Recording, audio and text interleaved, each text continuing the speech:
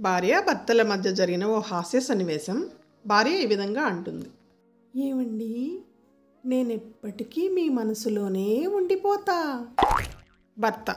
ఉంటే ఉన్నావు కానీ అక్కడ వేరే ఆడవాళ్ళు కూడా ఉన్నారు. వాళ్ళతో గొడవ పడకు మరి.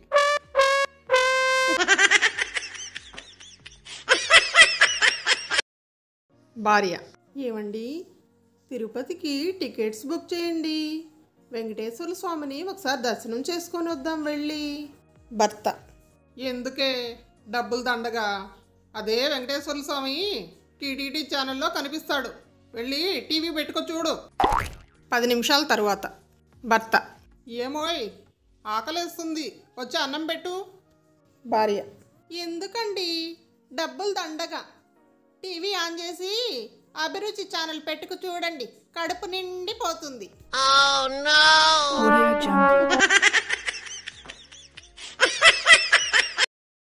భర్తను చితకబాదుతున్న శ్యామలతో పక్కింటి శాంత ఈ విధంగా మాట్లాడుతుంది. ఏమిటి శ్యామల? మీ ఆయన్ని పట్టుకుని అలా చితక బాధేస్తున్నావు శ్యామల. ఏం లేదు శాంతక్క. పొద్దున ఈయనకు ఫోన్ చేస్తే ఒక అమ్మాయి లిఫ్ట్ చేసి చేస్తున్నవారు వేరొకరితో బిజీగా ఉన్నారు అని చెప్పింది.